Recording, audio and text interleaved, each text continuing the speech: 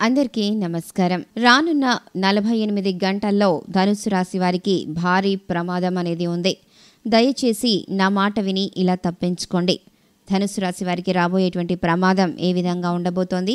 వారికి ఎలాంటి ఫలితాలు రాబోతున్నాయి? వారు తప్పించుకోవాలి అంటే ఎట్లాంటి పరిహారాలు చేసుకోవాలి అనే విశేషాలు ఇప్పుడు మనం చూద్దాం. అయితే ఈ వీడియోని ఎక్కడా కూడా స్కిప్ చేయకుండా పూర్తిగా చివరి వరకు చూడండి. అలాగే మన ఛానల్ని ఇప్పటి వరకు సబ్స్క్రైబ్ చేసుకోకపోతే వెంటనే సబ్స్క్రైబ్ చేసుకోండి.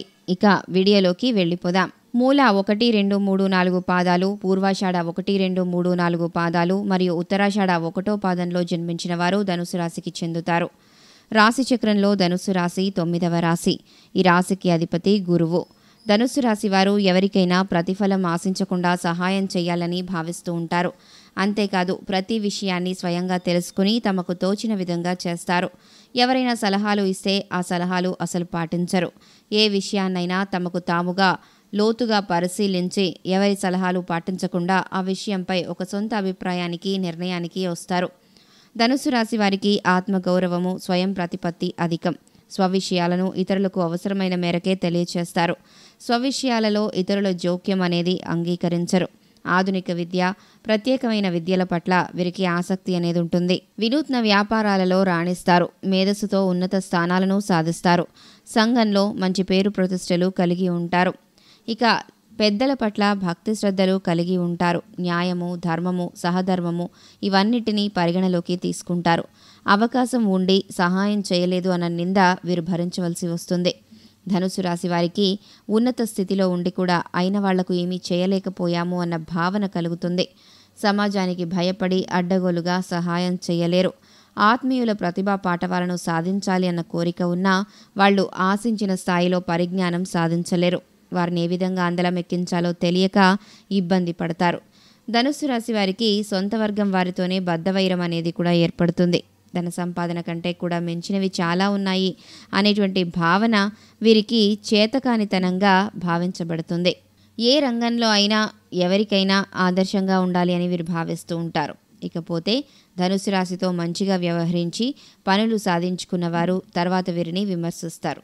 ఇది వీరు సహించలేని విషయంగా మారుతుంది. దాన ధర్మాలు చాలా చక్కగా చేస్తారు. గొప్ప సహాయాలు కూడా అందుకుంటారు. ధనుసు రాశి వారు ఏ విషయంలో కూడా అతిగా కలగ చేసుకోరు. వీరి మాటను ధిక్కరించిన వారిని జీవితకాలము శత్రువులుగా భావిస్తూ ఉంటారు. ఆత్మీయ బంధువర్గము కుటుంబ సభ్యుల వలన కుటుంబ పరువు ప్రతిష్టలు అనేవి దెబ్బతింటాయి. సొంత వాళ్ళు స్థాయిని మరిచి కలహించుకుని నోరు పారేసుకోవడం ఇబ్బందిని కలిగిస్తాయి. ధనుస్సు రాశి వారి సిద్ధాంతాల కారణంగా తమ వారు కొంతకాలం దూరమవుతారు. నైతిక బాధ్యతలను చక్కగా నెరవేరుస్తారు. సహోదర సహోదరి వర్గానికి చేసే సహాయము విపరీతాలకు దారితీస్తుంది అని చెప్పుకోవాలి. ఎవరు ఏమనుకున్నా ధనురాశి వారు సిద్ధాంతాల కొరకే జీవిస్తూ ఉంటారు. అధికార పదవులకు కూడా వీరు చాలా చక్కగా ఎంపికవుతారు. ధనుసు రాశి వారు ఏదైనా ఒక విషయంపై ఒకసారి వేగంగాను మరొకసారి చాలా నిదానంగాను స్పందిస్తూ ఉంటారు. ఒకసారి అత్యంత వేగంతోనూ మరోసారి నిదానంగానూ నిర్ణయాలు తీసుకునే మనస్తత్వం వీరు కలిగి ఉంటారు. అంతేకాదు ప్రాణం ఎంత వేగంగా ముందుకు వెళ్తోందో వీరి ఆలోచనలు కూడా అంతే వేగంగా ఉంటాయి. అంటే చాలా వేగంగా ఆలోచించి నిర్ణయాలు తీసుకుంటారు. ధనుసు రాశి వారు తమకిష్టమైన పనిని మాత్రమే చేస్తారు. అంతేకాదు ఎవరైనా ఏదైనా పని చేయమని బలవంతం చేస్తే ఆ పని అస్సలు చేయరు. అలాగే వీరికి రాబోయేటువంటి నలభై ఎనిమిది గంటల్లో వీరికి ఒక ప్రమాదం అనేది రాబోతోంది. మరి ఆ భారీ ప్రమాదం నుంచి వీరు ఎలా తప్పించుకోవాలి? ఆ తప్పించుకోవడానికి గాను వీరు చేయాల్సినటువంటి పరిహారాలు ఏంటి అనే విశేషాలు మనం ఇప్పుడు తెలుసుకుందాం. రాబోయేటువంటి నలభై ఎనిమిది గంటలు వీరు చాలా జాగ్రత్తగా ఉండాల్సిన పరిస్థితి అయితే ఉంది. వీరికి పదవ ఇంట్లోకి సూర్యుడు ప్రవేశించాడు. కెరీర్ అనేది అద్భుతంగా ఉండబోతోంది. అలాగే తొమ్మిదవ ఇంట్లో కుజుడు సాధారణంగా ఉన్నాడు. ప్రయాణాలలో ఉత్సాహాన్ని మరియు ధైర్యాన్ని ఇస్తాడు. బుధుడు ఎనిమిదవ ఇంట్లో ఉన్న కారణంగా వీరు ఎటువంటి పనులైనా సరే చాలా సక్రమంగా చేస్తారు. లోతైన అంతర్మథనానికి గురవుతూ ఉంటారు. అలాగే శుక్రుడు భాగ భాగస్వామితో ఉన్నటువంటి బంధాన్ని మరింతగా పెంచుతాడు అని చెప్పుకోవచ్చు. రాబోయేటువంటి నలభై ఎనిమిది గంటల్లో కెరీర్ పరంగా చూసుకున్నట్టయితే వీరు మంచి విజయాలు అనేవి సొంతం చేసుకుంటారు. అధికారుల నుండి మంచి ప్రశంసలు పొందుతారు. ఉద్యోగం లేదా ప్రదేశాన్ని మార్చాలి అనుకునే వారికి విజయం అన్నది లభిస్తుంది. సహోద్యోగుల్లో ఒకరి నుండి మీకు ఊహించని మద్దతు అనేది లభిస్తుంది.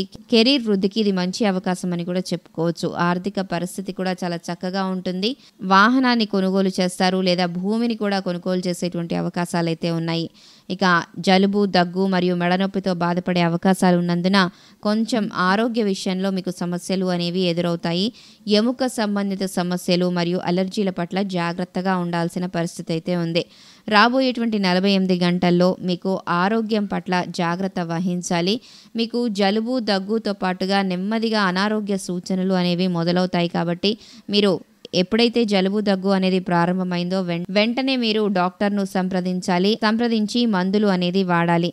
అలాగే మెడకు సంబంధించినటువంటి అనారోగ్యం కూడా గురయ్యేటువంటి అవకాశం ఉంది. కాబట్టి దానికి సంబంధించినటువంటి మందులు వాడుతూ ఉంటే మీకు ఎటువంటి ఇబ్బందులు అనేవి తలెత్తవు. అలాగే వాహనాలు మీకు మీరుగా నడుపుకుంటూ వెళ్ళటం అనేది కొంత తగ్గించుకోవాలి. విద్యార్థులు తమ పరీక్షల్లో విజయం సాధిస్తారు మరియు కోరుకున్న ఇన్స్టిట్యూట్లో ప్రవేశం పొందుతారు.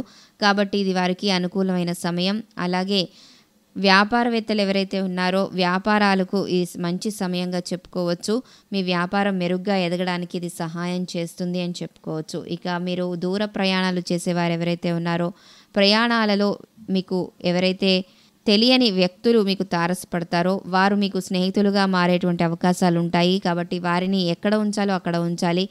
మీరు కల్మషం లేని మనసుని చూసి వారు మీకు స్నేహితులు అయ్యి మిమ్మల్ని ప్రభావితం చేస్తారు. సులభంగా ఇతరులతో స్నేహం చేసేటువంటి మనస్తత్వం ఉండటం వల్ల మీకు ఎవరైనా సరే స్నేహితుల్లానే కనపడుతూ ఉంటారు.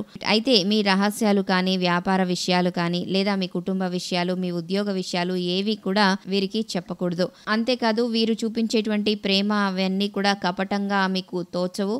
కాకపోతే తర్వాత ఎప్పుడైతే మీరు వీటన్నిటిని గమనించుకుంటారో అప్పుడు వారు మీకు శత్రువులుగా కనిపిస్తూ ఉంటారు.